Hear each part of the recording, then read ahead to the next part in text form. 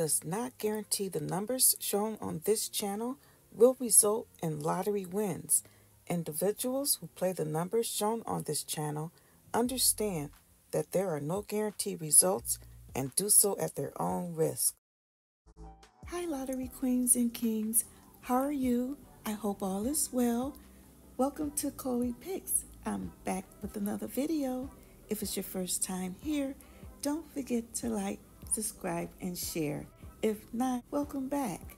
Guys, I'm really excited about this video. Remember when I won that pick 3 lottery number 132 and I said I was going to come out with a video that explained exactly how I did that? I know it's been a while. Actually, it was in May when that happened.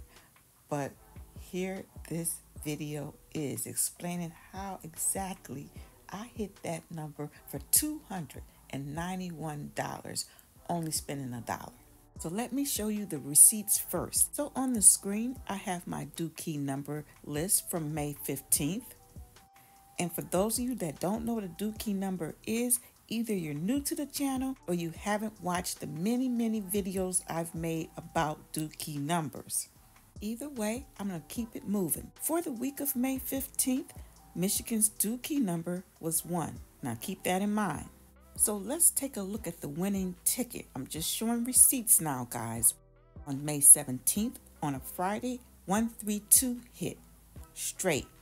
That's how I had it. You can also see I spent $1. Now let's pull up the Michigan Pick 3, which is Daily 3. That's what we call it. Winning number for that Friday, May 17th, 132 for the evening. So I just wanted to show you the receipts of the winning ticket and the Michigan website for that day, just to show you that I did hit that number straight. I know what you're thinking. Chloe, how did you do it? Let's just get straight to the point. Well, let me explain. There are two things. Number one is intuition, and two is research. So I know I always talk about researching your numbers before you play them, but I hardly ever talk about intuition. So, taking into consideration the Dukey number one for Michigan, I realized that 132 had not hit in 2024 at all, and it usually falls two to three times a year in the evening. We're not talking about midday, we're talking about the evening only. I noticed it had not failed, and it was due in my mind. The number was due. So now let's take a look at intuition. Because I knew the number was due and the due key number was 1 for the week, that was the best time I felt to play the 132. It was just a strong feeling that that number was going to fall. Now, how did I get it straight? That's the next question. Let's go back to research. I looked up 132, saw it had been a few months since it hit, then I looked at the last time which way that it hit. And by looking at which way it hit the last few times, determined how I was going to play it.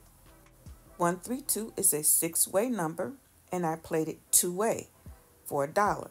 That means 50 cents straight, 50 cents box. So if it comes out straight, which was 132, I get $250. If it comes out box, that's any other way, I get $41. So whatever way it would have failed, if not the 132, I would have at least hit $41.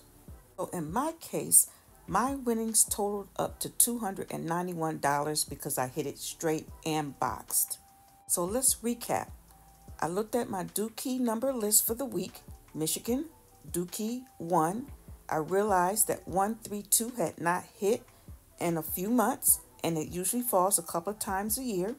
So I got on that, researched which way was the best way to play it, and that's how I hit the 132 straight.